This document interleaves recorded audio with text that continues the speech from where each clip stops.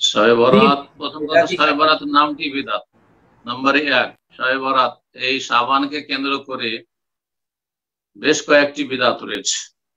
এক নম্বর বিদাত হচ্ছে এই পনেরো সাবানের রাত্রির নাম সবে বরাত বলা এটি বিদাতি নাম বলবেন না। পনেরো সাবান বলবেন।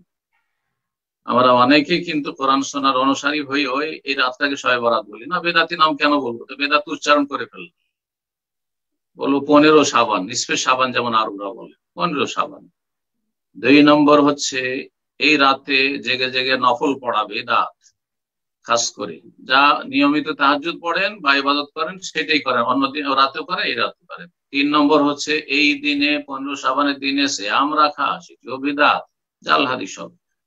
চার নম্বর হচ্ছে, এই রাতে হালুয়া, রুটি, মিষ্টি মাষ্টি ভালো খাবার তৈরি করে নিজেরা খাওয়া এবং ফকির মিসকিনকে খাওয়ানো গ্রামবাসী খাওয়ানো আর মৃত যারা চলে গেছে, বাপ, মা বা আত্মীয় স্বজন, তাদের অপেক্ষায় থাকা যে তারা হালুয়া রুটি খেতে রাতে আসবে, জঘন্য বিদা। তো এই যে জিজ্ঞেস করেছেন যে যে ভালো খাবার টাবার তৈরি করে, সেগুলি যদি দিতে আসেন এবং না নেবেন না। যাতে করে এর মাধ্যমে আপনি দাওয়াত দেন, যদি নিয়েই নেন, তাহলে তো একটা অংশ নিলেন, তাহলে তো ওরা বুঝলো যে এটা তো ভালোই কাজ করেছি, অমুক নিয়েছেন। তাহলে আমি, আমার প্রতিবেশী ছয় বরাতের বিদাতের খাবার তৈরি করেছে, এ পনেরো সাবানের বিদাতের খাবার তৈরি করেছে। আর তারপরে আমাকে দিতেছে আমি যদি নিয়ে নিই তাহলে তো শেখ তো খেয়েছে। হ্যাঁ শেখের বাসায় তো দিয়ে এসছি, তাই না? এটা আমার যেন পরোক্ষভাবে স্বীকৃতি দেওয়া হবে বেদাতকে গুমরাহিকে। যেটা জাহান নামে নিয়ে যাবে মানুষ। দিনকে তারা বিকৃত করে দিয়েছে। নবী সাল্লামের ছেড়ে যাওয়া দিন নয় এগুলো। সুতরাং এটা পরিত্যক্ত পাঁচ নম্বর বিদাত হচ্ছে দলে দলে কবর জিয়ারত করা।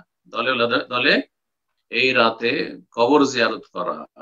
এটি আরেকটি বিদাত এইরকম অনেক বেদাতি থাকতে পারে।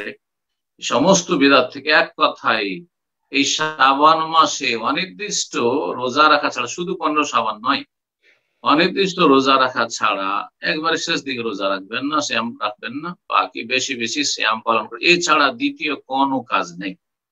যা আছে অন্য মাসে, অন্য দিনে, তাই এই মাসে রয়েছে। অন্য বিশেষ কোন এবাদত এই মাসে নেই। হ্যাঁ ছয় নম্বর বেদাত, এই ছয়টি বেদাত রয়েছে আমার জানা মতে।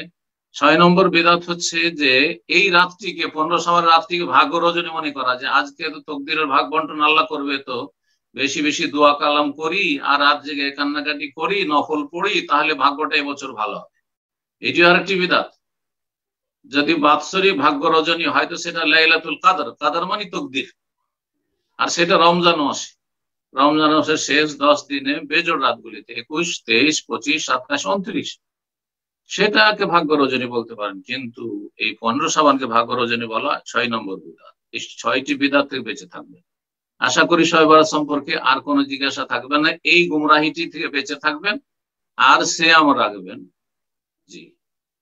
সৌদি আরবে যেমন কালকে পনেরো তারিখ, যেভাবে চান্দা হয়ে গেছে। কালকে মানে আজকে রাতে শহর করতে পনেরো পনেরো সাবান, শুধু খাস করে পনেরো সাবান না। এই দিনে সোমবারও আছে, সোমবারের নিয়তে আগে থেকে যদি আপনার রোজা রাখা অভ্যাস থাকে, রাখতে পারেন। বা মাঝে মধ্যে আপনি রাখেন সোমবার, বৃহস্পতিবার করে রাখেন রাখেন, অথবা সাবান মাস হিসাবে রাখেন, সোমবারে রাখলেন, মঙ্গলবার রাখলেন, এইভাবে আপনি শ্যাম রাখেন, কোনো অসুবিধা নেই। কিন্তু এই দিনটি হচ্ছে শয় বরাত আর এই দিনটি বরাতের দিন, এই দিনে দিনে রোজা রাখব, এই বেদাত করবেন না। জি।